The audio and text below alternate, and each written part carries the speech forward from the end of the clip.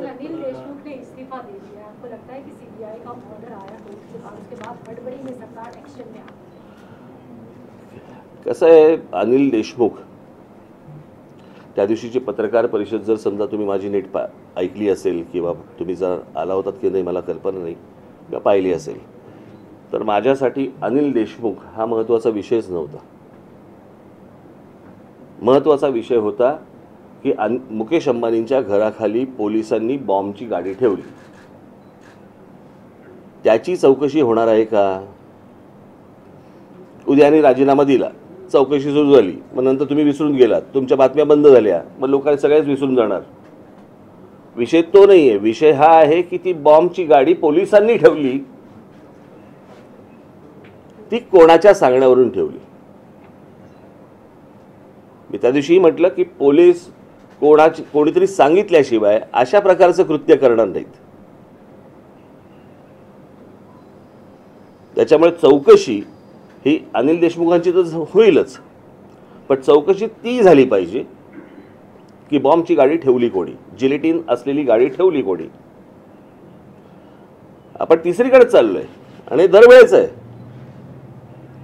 प्रत्येक वेळेला एखादा विषय ज्या वेळेला येतो मग त्याला फाटे फुटत जातात. म्हणजे मला एक मागच्या वेळेला मला सांगायचं राहून गेलं तुम्हाला. आमची एक परिचयाची व्य- व्यक्ती आहे. त्याला काहीतरी गाणं गायचा मूड येतो. आणि मग ते गाणं गायला सुरुवात करतात.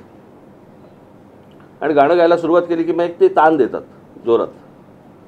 आणि ती ताण इतकी जाते इतकी पुढे जाते इतकी जाते नंतर ते मूळ गाणं विसरतात. आणि बाजूच्याला विचारतात कोणसा गाणं गा आता? मग आम्ही सांगायचं हे गाणं गाताय तुम्ही. अच्छा अच्छा मग हे गाणं. कळलं का? ते तुमचं सगळं असं चालू आहे सगळं आत्ता. की मूळ विषय कुठचा निघतो? तो नंतर कुठेतरी भरकडत भलतीकडेच जातो.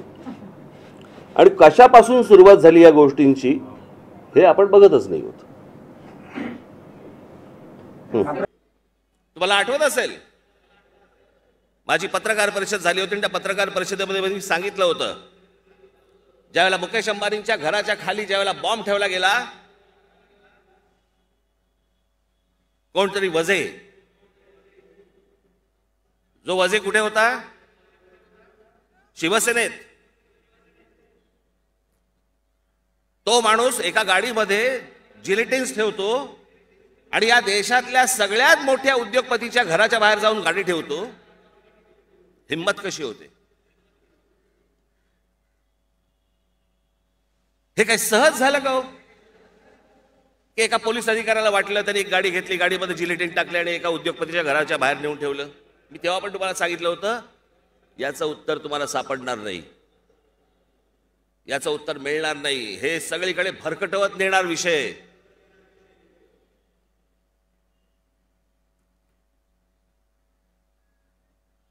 माझ्या एक परिचयाचे एक जण होते. आहेत म्हणजे ते. त्यांना गाणं गाण्याचा भयंकर शौक होता. तर एक चार पाच झाले. की ते गाणं म्हणायचे. रमैया वस्तावया. आणि मग रमैया वस्तावया गाणं सुरू केलं की मग ते एक ताण द्यायचे. ती ताण साधारणपणे एक मिनिटभर चालायची.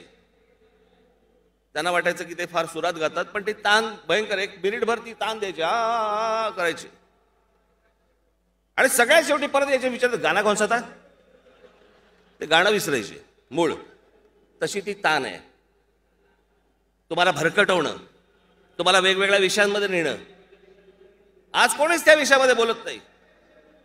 अहो देशाच्या इतक्या मोठ्या उद्योगपतीच्या घराच्या बाहेर बॉम्बची गाडी सापडते आणि त्याचं उत्तर अजूनपर्यंत महाराष्ट्राला मिळत नाही देशाला मिळत नाही. एक पोलीस अधिकारी जेलमध्ये जातो. त्याच्यानंतर मुंबईच्या कमिशनरला काढून टाकलं जातं. मुंबईचा कमिशनर म्हणतो की गृहमंत्र्यांनी शंभर कोटी मागितले गृहमंत्री जेलमध्ये जातो.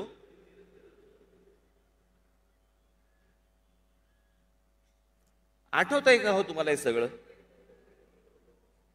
हे? सगळं जण विसरले परत निवडणुका येणार परत नवीन प्रचार होणार नवीन गोष्टी होणार.